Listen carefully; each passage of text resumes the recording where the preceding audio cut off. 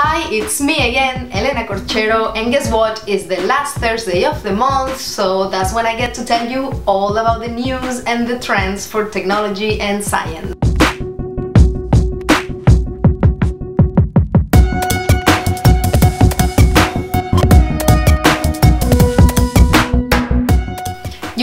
Noticed that it's a little bit darker than usual. That is because this week I have been crazy busy, but I still want to make you aware of everything that is going on, so let's get started. Having been at MIT Media Lab myself, I highly admire any initiative they launch.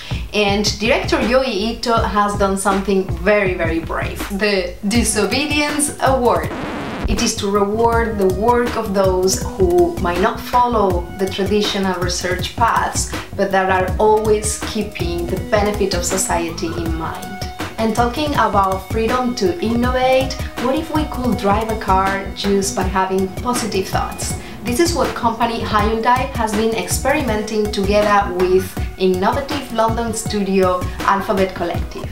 Let's talk a little bit more about self-driving cars. A very interesting spin-off from Oxford University, Oxbotica, has developed a system, Selenium, which allows any car to become a driverless car. It collects data from video cameras, laser scanners, and other radar systems that anyone can install in their car. Now an interesting dilemma about the Internet of Things. What comes first? The network that the sensors have to use to communicate or the objects that are gonna be broadcasting all this data. Well, one cannot live without the other and cities are starting to prepare all of this infrastructure. Netherlands confirming that they have finalized a complete network for the Internet of Things.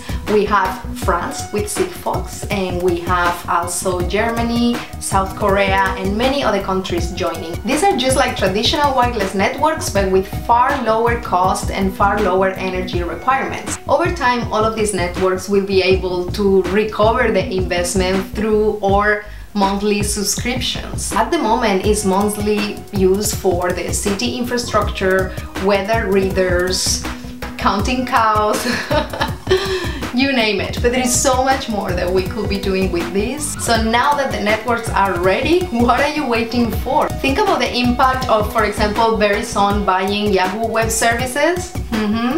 and also Japanese SoftBank purchasing the British ARM this has a lot, a lot to do with the Internet of Things, you just have to wait and see. I'm sure many of you have already had the opportunity to enjoy a fully immersive virtual reality experience. Oculus is right now starting to focus on haptics and these are devices that give us physical feedback in our body about whatever experience we might be having and from virtual reality allowing us to feel more, what about virtual reality allowing us to feel less? A company called Applied VR is collecting content that is proven to diminish pain, distracting your brain from a section of your body while that section is being operated. Yeah, groundbreaking, but it turns out that it works. It's the power of distraction. Just like a magician will be doing something over here while you're looking over there, it turns out that our brain works exactly the same. Pues eso entiende que todo está en los links below. ¿Y Pokémon Go? It's so much in the news that I am not sure I have to repeat and repeat and repeat. But yes, it is the game of the month. Other companies have been very, very creative about it. And you have, for example, the excuse that you could use Pokemon Go to take your dog out for a walk that's very very kind or that you can use it in a hospital to encourage kids to get out of the bed and to be more optimistic go now I need a break so I'm gonna leave you here. Please leave your comments below. I want to know what you think about all this news, where you want the future to take us, if you have any further questions that you want me to tackle. So please don't forget to subscribe and I see you next Thursday. YoSTEAM!